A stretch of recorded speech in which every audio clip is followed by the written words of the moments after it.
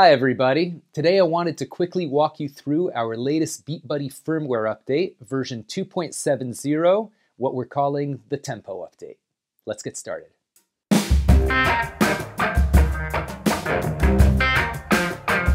One of the main focuses of this update was to improve the ease of use and functionality of our tap tempo feature.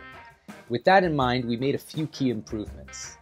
Uh, first, we made it so that the tap tempo only does whole numbers. So it avoids non-whole numbers like 120.54 BPM. That was messing up with the BeatBuddy's capability of syncing to other devices accurately. Then we added a new behavior to the tap tempo function so that it adjusts according to the time signature that is currently being used in the beat that is being played. So for example, if your beat is in a 6-8 time signature, now when you tap tempo, you tap along to the eighth notes.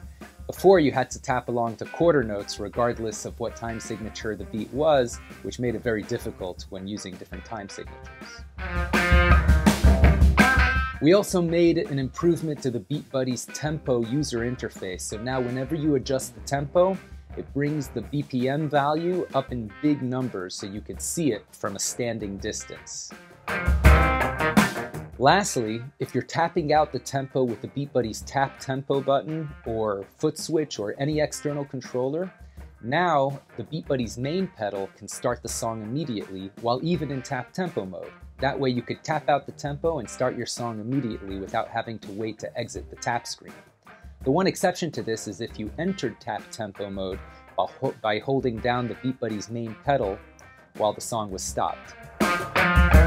The next feature we developed is the capability to disable the outro fills in the BeatBuddy settings. With this setting enabled, when you double tap the pedal, it'll just end at the end of the measure uh, without triggering an outro fill. A lot of you guys have asked us to implement this, so we did.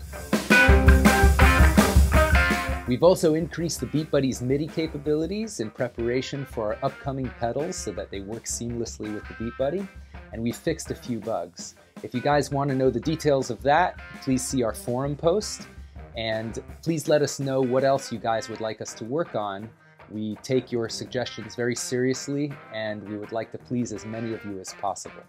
So thank you for tuning in and keep rocking.